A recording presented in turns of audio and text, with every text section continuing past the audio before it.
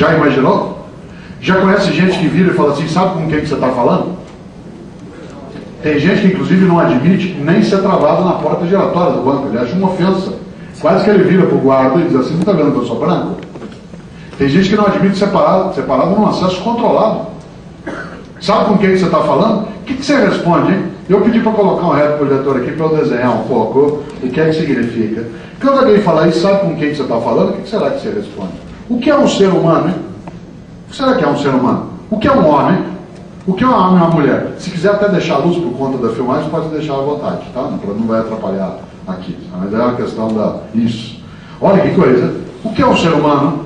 Aristóteles disse no século IV a.C. que o homem é um animal racional. Até hoje a gente usa isso.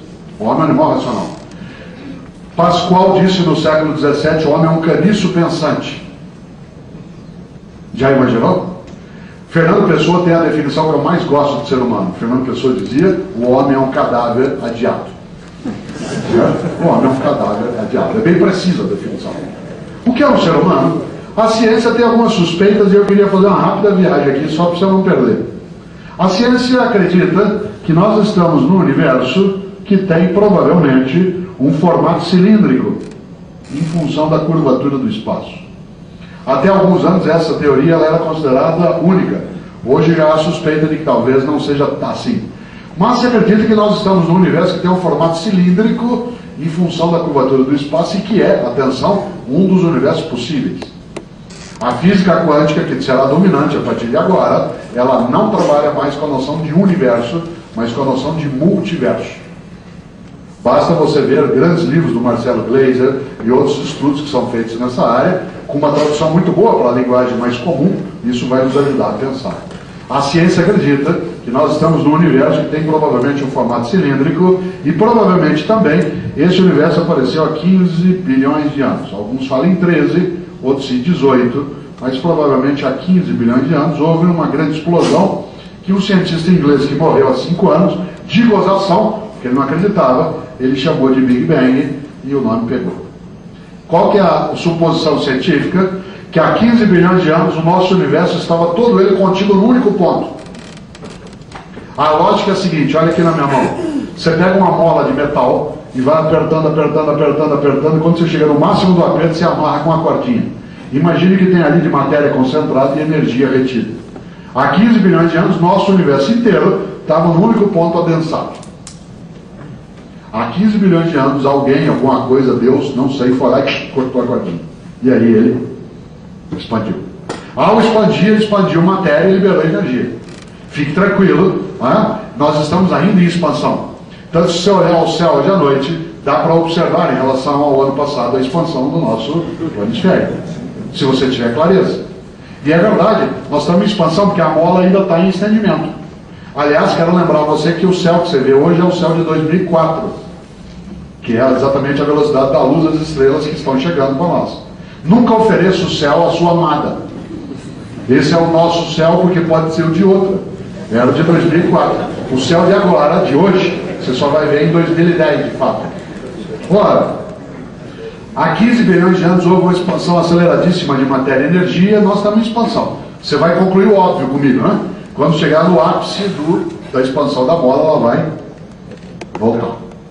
E depois parece que esse processo ele é sistólico e diastólico como o nosso coração. Talvez os orientais conheçam isso melhor, porque eles têm religiões que trabalham com a noção do expandir e recolher. O pulmão faz isso, o coração faz. Parece que o planeta e a vida fazem isso. O nosso sexo expande e retrai. Parece que tem um segredo na vida, no sistólico e diastólico. Não sei. Aí é uma questão de crença. De qualquer forma, né, há essa. Fique tranquilo, porque esse encolhimento a ciência já calculou, vai se dar em 12 bilhões de anos. Até lá você já está aposentado pelas novas regras. Por isso que eu fiz o meu PGBL no banco, exatamente para poder me garantir. Olha só, há 15 bilhões de anos houve uma expansão aceleradíssima de matéria e energia. Essa matéria se concentrou naquilo que nós humanos chamamos de estrelas, e as estrelas se agruparam no que nós humanos chamamos de galáxias. Galá, que em grego é leite. A ciência calcula que no nosso universo haja por volta de 200 bilhões de galáxias. Não são 200 galáxias, são 200 bilhões de galáxias. Uma delas é a nossa, que fica aqui na porta de saída do universo, que é a Via Láctea, e que é leite em latim. Que não é uma galáxia assim tão grande, ela tem apenas 100 bilhões de estrelas. Uma dessas estrelas é a nossa. Quando era criança, a gente chamava de estrela de quinta grandeza. Agora é chamada de estrela anã, que é o Sol. O que é o Sol? O Sol é uma estrelinha, entre outras 100 bilhões de estrelas, compõe uma única galáxia, entre outras 200 bilhões de galáxias, num dos universos possíveis e que vai desaparecer. Em volta dessa estrelinha giram massas planetárias sem luz própria, nove para ser mais exato, talvez oito. A terceira delas, a partir do Sol, é a Terra. O que é a Terra?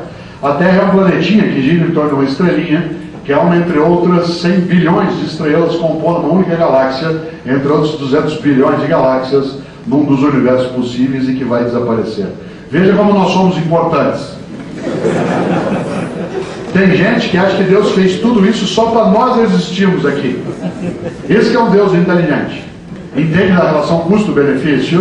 Tá? Ele faz bilhões de estrelas, galáxias, só para nós existirmos aqui. Tem gente que acha que coisa pior. Acha que Deus fez tudo isso só para essa pessoa existir ali.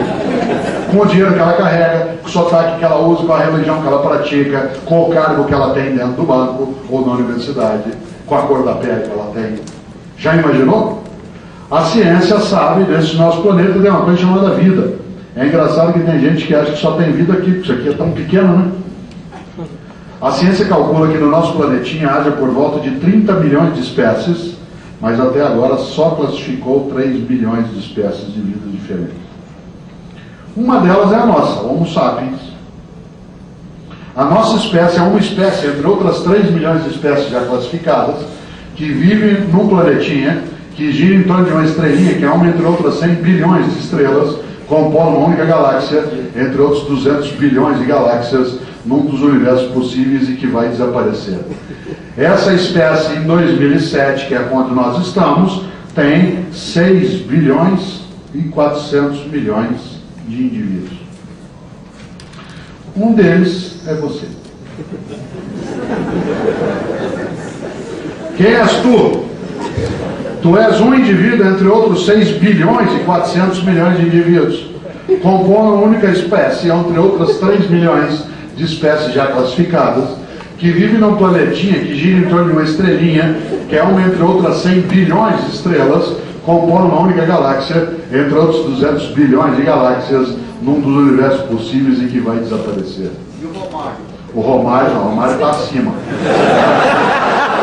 Já pensou? Já imaginou 6 bilhões?